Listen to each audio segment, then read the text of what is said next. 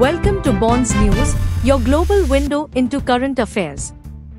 At least 11 individuals lost their lives and numerous others were wounded following devastating attacks launched by Russia on Kharkiv, Ukraine's second largest city. The strikes primarily targeted a bustling lakeside resort within the city, but neighboring villages also bore the brunt of the assault. In a separate incident, the northeastern region of Ukraine, particularly the city of H, faced a barrage of attacks on Sunday, resulting in casualties reaching double digits, as confirmed by local authorities.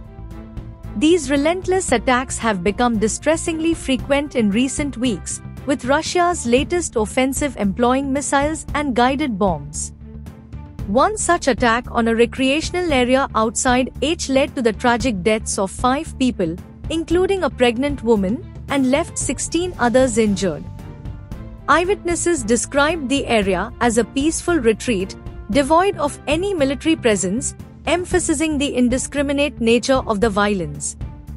Tragically, emergency responders were not spared, as Ukrainian officials accused Russia of employing double tap strikes to target those providing aid at the scene.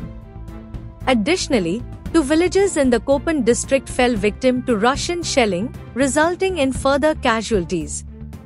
President Volodymyr Zelensky reiterated appeals to Western allies for increased support, particularly in supplying additional air defense systems to safeguard Kharkiv and other vulnerable cities. Thank you for choosing BGN channel. Stay tuned, like and subscribe.